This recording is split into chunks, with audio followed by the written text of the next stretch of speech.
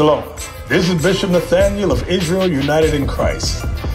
I want to start off by saying thank you to all of our Booster Club members for your many donations and much more, your prayers.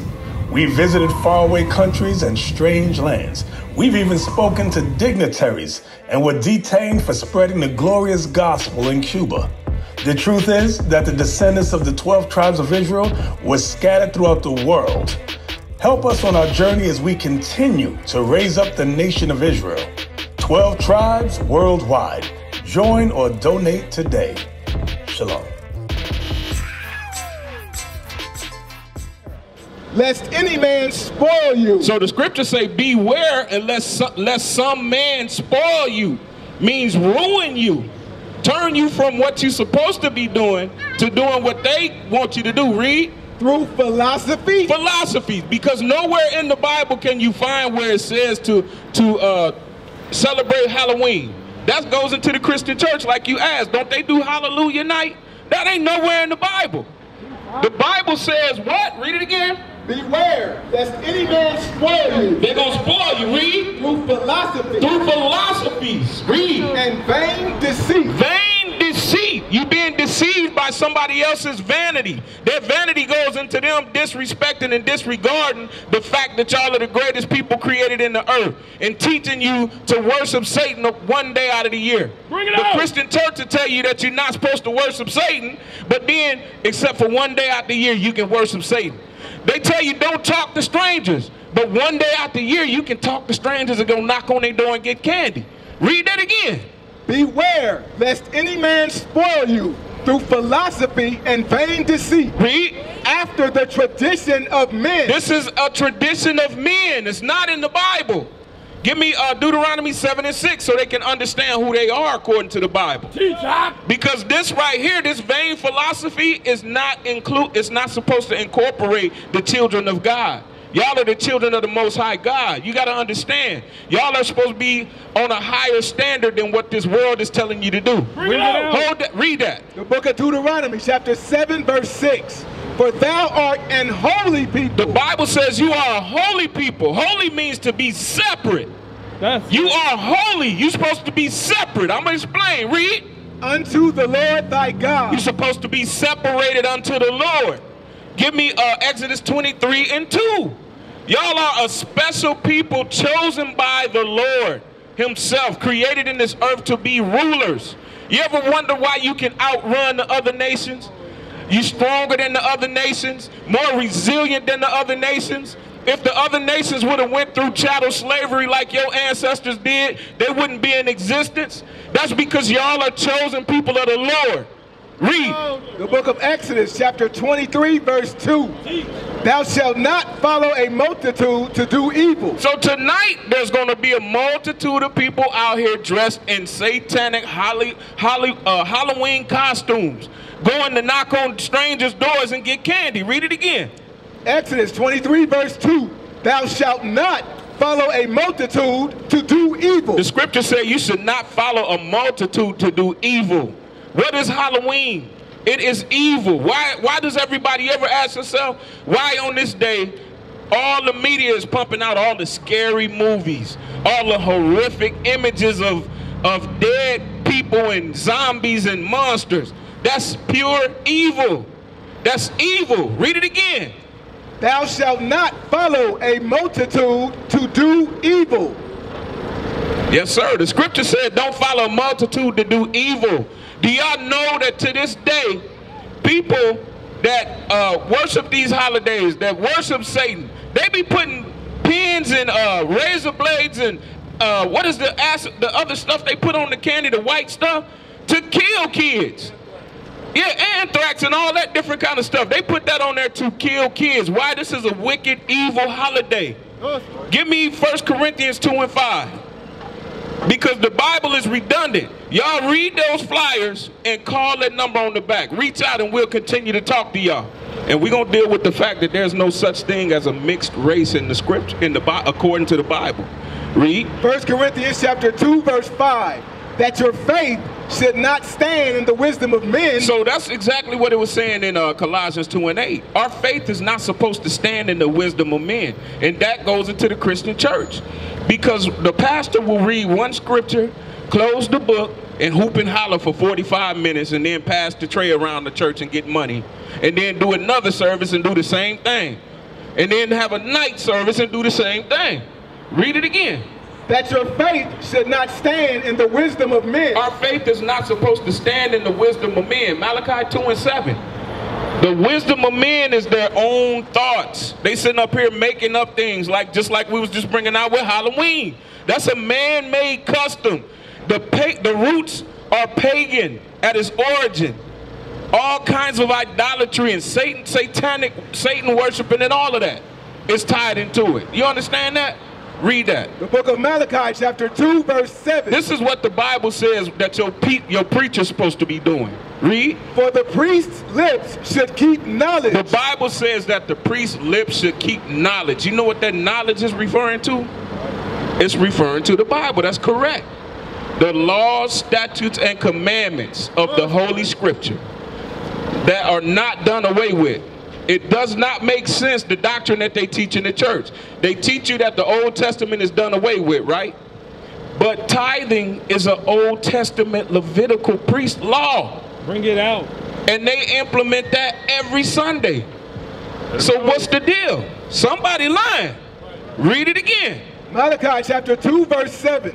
For the priest's lips should keep knowledge, The priest's lips should keep knowledge. Read. and they should seek the law at his mouth. They should seek the law at his mouth. That's the Bible telling you that they should seek the law. Okay? You understand that? So the Christian church is responsible for, hold this up for me right here, officer, if you don't mind, one of these signs. This is the northern kingdom. This is what I was telling you about right here. Look. They holding crosses, burning this man at the stake. What kind of sense do that make? And we in the Christian church right now, predominantly today, and our neighborhood's getting worse, minute by minute. We dying at, a, at the most alarming rate amongst of all the nations in the earth. The people on this sign right here.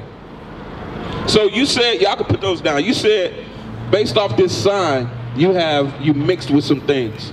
Those genealogy tests and all that stuff, bro, if you we, read the fine print, it tells you that it's for entertainment purposes only. They have no way of determining who you are.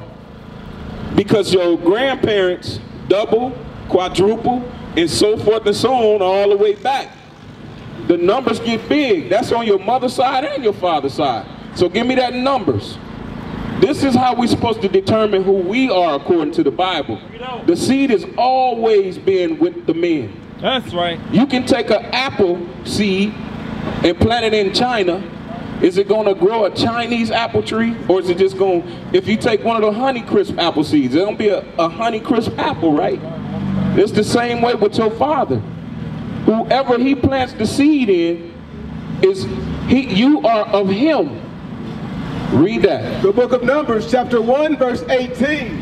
And they assembled all the congregation together on the first day of the second month. Uh-huh. And they declared their pedigree. You know what a pedigree is, right? It's a bloodline. It's a bloodline. So they declared the pedigree on the first day of what? The second month?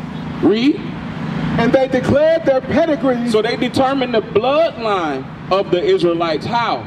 After their families, After their families, read. by the house of their fathers, No, by the house of the mom. by the house of their fathers. Simply by the house of the father. So you are who your father is. If you have one drop of blood, black blood, Dad is black, but then you black. know what he is. He didn't actually know his father. Okay, well, He don't even- Romans 8:16. Bring it out. I'm gonna tell you why it's what, what what is so simple about that because we tell people all the time nothing happens by happenstance. There's no coincidence that the spirit pulled you over here to inquire. And then we get that. Inquire of the former age. Read. The book of Romans, chapter 8, verse 16. The Spirit itself beareth witness with our spirit. So the scripture says that the spirit itself, meaning the scriptures, this holy Bible, bears witness with our spirit. So something tugged you over here when you seen all this purple and gold shining in the sun. Something pulled you over here. That was your spirit.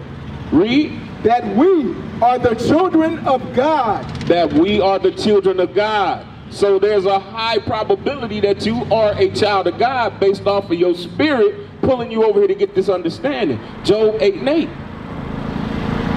And this is exactly what you did. You came to figure out what's going on. You was raised in the Christian church and all of that. The information, the Bible tells you everything about life. Is that what I want? Yeah. Read. The book of Job, chapter 8, verse 8. For inquire, I pray thee, mm-hmm. of the former age, and prepare thyself to the search of their fathers. So the scripture instructs you that you're supposed to search out who your fathers are. And it also lets you know that your spirit is going to bear witness. The Bible is going to bear witness with your spirit. Now let me show you real quick why it's important for you to know who you are. Give me uh, Deuteronomy chapter 30 and verse 1. Because in the wilderness, when we got delivered out of the Egyptian captivity, Moses put two things on the table for us. He told us about a blessing that would fall on us, and then he told us about a curse that would fall on us if we didn't do what we were supposed to do. But here's the importance of finding out, researching your heritage and your history. Read. Deuteronomy chapter 30, verse 1. And it shall come to pass, Shall is always future prophecy, meaning it hasn't happened yet. Read. when all these things are come upon thee, When all of the things, read. the blessing and the curse, So, Deuteronomy 28, verse 1. So it said, when all these things shall come upon you, the blessing and the curse. Let's see what the blessing is. Let's see if that happened. Read. Deuteronomy chapter 28, verse 1. And it shall come to pass, Future prophecy. He's telling the Israelites that he just delivered out of captivity. This is going to happen to you if, read, if thou shalt hearken diligently if you listen. The key word in hearken is to hear. If you hear diligently, read, unto the voice of the Lord thy God, meaning the Bible, the book of the law, read, to observe and to do all his commandments, to observe and to do all the commandments, not just 10. During this time, it was 613, including the sacrificial law.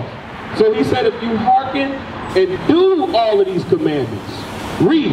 which I command thee this day, Uh-huh. that the Lord thy God will set thee on high above all nations of the earth. So he said, see, this separates the fact that people believe and the Christian church teaches that we are all the same and we all one under, in the eyesight of God. Read that again. And it shall come to pass, Uh-huh. if thou shalt hearken diligently unto the voice of the Lord thy God, Uh-huh. to observe to do, and to do all his commandments, Read. which I command thee this day, Uh-huh. that the Lord thy God will set thee on high Read. above all nations. No, he will make you equal to all the nations. above all nations. He said, if you do what the Lord told you to do, Israelites, on that sign, I'm going to put you on high above all the nations. Teach Teacher! So during this time, we had King David. I mean, during what this is talking about, we ruled the planet. Blacks ruled the globe. my Teacher! Us, right? When we when we had our connection to the Most High God. Give me verse 15. Verse If you do what I tell you to do, I'm gonna put you above all the other nations that are not on that sign.